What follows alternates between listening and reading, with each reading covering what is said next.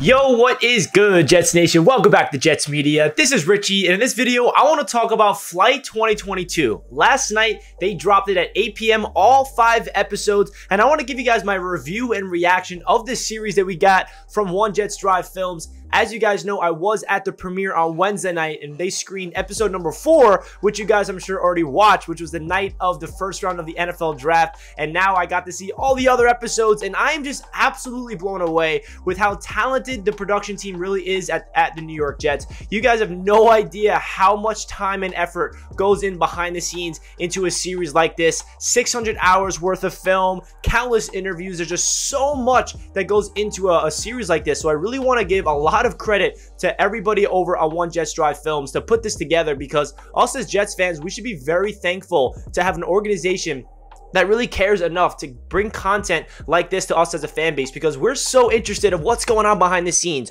What does it look like behind the scene with the scouting department, with the pro scouts, the college scouts, the free agency process, the draft process, you know, these interviews with the national media. They just really hit a home run on all cylinders with Flight 2022. Last year was their first premiere of uh, the Flight series, which was Flight 2021, and they're just doing a phenomenal job. And I'm just so happy that we as a as a fan base have an organization that really cares enough to put this much time and effort into a series like Flight 2022. So in this video, I just want to give you guys my overall thoughts. I just finished all five episodes this morning, so I'm really excited to break down uh, this series on this channel. Before I hop into it, I just want to mention, thank you guys so much. I just hit 12,000 subscribers here in Jets Media. It really does mean a lot to me that you guys continuously show support here in Jets Media. I'm just a Jets fan like any of you guys, just you know, have a huge passion for this franchise like you, and I love talking about this team. And it really does mean a lot that you guys continuously show so much support, hitting that like button, commenting your thoughts, and of course, hitting that subscribe button. So I just want to say thank you guys so much for all the countless support here on Jets Media. It really, really does mean so much to me because without you guys, I would not have been invited to that premiere on Wednesday night. It really does mean a lot that you guys continuously support me at Jets Media. So let's get right into the series, man.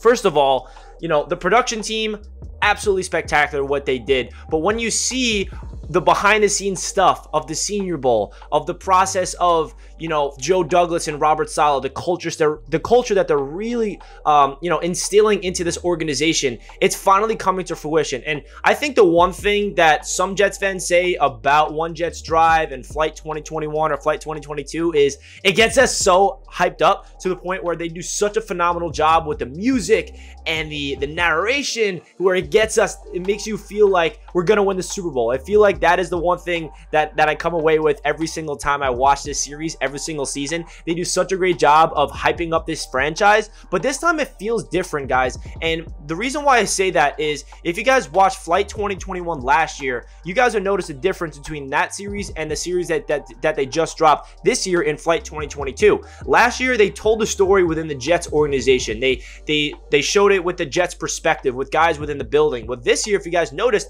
they had national media all over the place in this series. Adam Schefter, Ian Rapoport, Daniel Jeremiah, Mike Garafolo, um, you know, Peter Schrager, all those guys are part of the national media where they're not like Jets fans. They report on the NFL and they had nothing but glowing things to say about the New York Jets. So it was really cool to see, you know, them tell the story within the national perspective rather than, you know, the Jets, you know, like Eric Allen and all the guys within the organization talking about this team. Instead, they really wanted to make sure they go out there and get the national guys like the Rapoports and all them to really tell the story. I feel like that was a really good idea from One Jets Drive uh, Films to really get those guys out there. Um, but then when you get into what Joe Douglas and Robert Saleh really are doing. It, it's unbelievable. Like the we all knew that this offseason is going to be the biggest X factor of this franchise for the next couple of seasons because Joe Douglas made so many moves to acquire draft capital to get into the 2022 draft. We all know what happened in the NFL draft, but leading into this offseason, there was so much hype. We have so much cap space.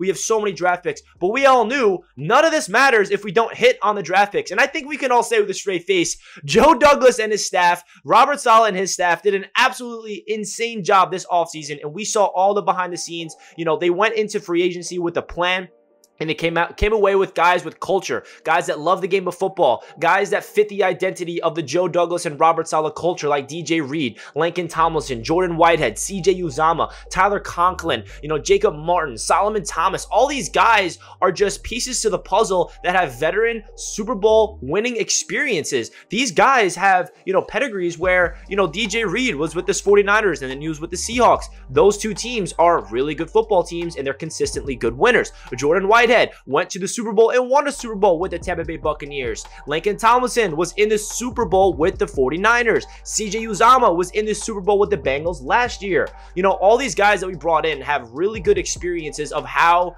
you know, they, they know what it takes to, to turn the organization around and win some football games. So I feel like that was a big time, you know, focus for the New York Jets when it comes to free agency and they allocated the cap space beautifully. Instead of using all the cap on one or two guys to win the headline, they spread it out. They got two big time tight ends.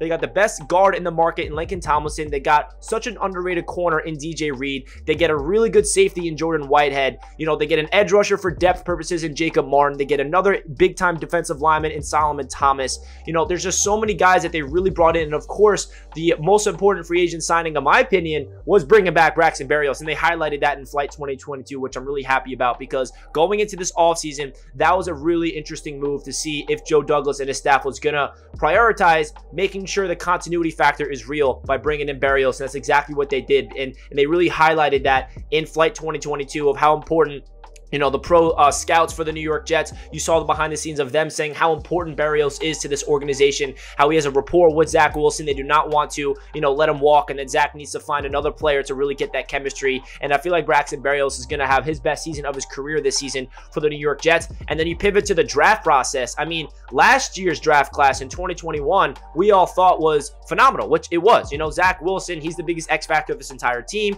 Getting him at number two, the Jets' relentless effort to trade up for a Alijah Vera-Tucker, them getting Elijah Moore in the second round, Michael Carter, you know, all four of those guys are the offensive core of this team. And then the next six picks last year are all defensive players and guys in the back end of this uh, draft last year that I think is going to be really good impact players this season. Michael Carter the second, Jason Pinnock transitioning to become a safety, Echols being a, a depth piece at the cornerback spot, Jonathan Marshall potentially getting some burn, and then the two linebackers, Hamsah Nasirildeen and Jamien Sherwood, them going into your number two. So last year's draft class was like the, the first time of the instilled foundation for the Robert Saleh and Joe Douglas New York Jets. And then we go into this draft class with all the cap space and all the capital that we have. And what it tells me is that everything went our way. If you guys saw that episode, episode number four of the experience in the draft room, on Thursday night, April 28th of the first round of the NFL draft, they all wanted Sauce Gardner. And they were so happy when they saw that the Houston Texans took Derek Stingley because they knew that Sauce was their guy immediately. They were all relieved.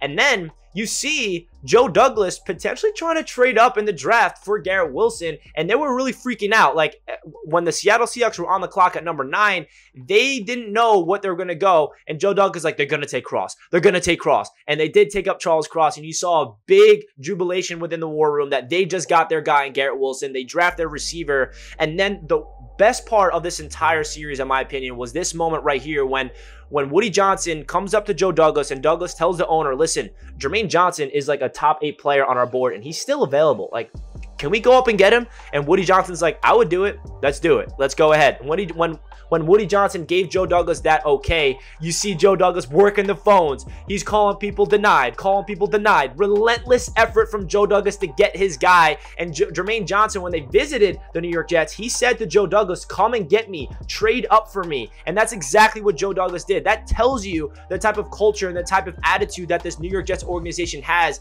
and their effort to really try to uh, turn this organization around. And they go out and get their guy in Jermaine. And then, of course, you see the um, the last episode of episode five, them getting Breece Hall. They want to get playmakers for Zach Wilson. They end up getting Jeremy Ruckert later in the draft, and then Max Mitchell and Clemons. And it really feels like that things are trending in the right direction because I think us as a fan base knew how important this offseason was heading into it. And then now when, when we are on the other side of the offseason, where it's in the past now where we can evaluate it, they absolutely hit a home run. You see all the NFL media praising the New York Jets of what they did in the offseason. And now we get to see the behind the scenes looks, and it really re reaffirms of what they were able to accomplish. It's kind of mind blowing that they were able to get three players in the top uh, in their top eight on their board in Sauce Gardner, Garrett Wilson, and Jermaine Johnson. That's just ridiculous that that happened. The New York Jets are extremely happy about what they were able to accomplish in the offseason. And this is the type of offseason that can really propel this organization to be a sustainable winner. Now, we can't expect these rookies to go out there this season and be all pros right away, but I think that we can all say with a straight face that if they develop properly, they all have potential to be stars. Those four players in particular in Sauce, Garrett Wilson, Jermaine, and Breece Hall, those four players, in my opinion, are starters for this New York Jets team and have star potential written all over them. So I just want to make a video of my thoughts of Flight 2022. As you guys can see, I'm on cloud nine. The New York Jets did a phenomenal job. Shout out to everybody in the One Jets uh, One Jets Drive Films uh, room. They did such a phenomenal job. You guys have no idea how much time it, it takes to do that. I don't even have an idea either, but I just know as a I went to college and I studied media production, so I understand the video production side of things. And they put so much sweat and tears into this. And I'm so happy to be a Jets fan. You guys should feel happy to be a Jets fan as well because things are genuinely trending in the right direction. Robert Saleh knows what he's doing. Joe Douglas is instilling a culture, and bright things are ahead for the New York Jets. Leave a comment down below your thoughts of Flight 2022. This is my recap and my reaction to the entire series. I have a lot to say. Obviously, this is a long video of me just talking about a series, but man, was that awesome! Awesome. Thank you to the New York Jets for inviting me to the premiere on Wednesday night. It really does mean a lot to me that you recognize the work that I put in to really try to uh, connect with the fan base, connect with everybody around the world that supports this awesome New York Jets franchise. And this season is going to be special, guys. And I'm going to be here with you throughout the entire way. Let, make sure you guys like the video if you guys enjoy. Don't forget to comment down below your thoughts of the series. And I'll catch you guys in the next video. Let's go, Jets. Peace out.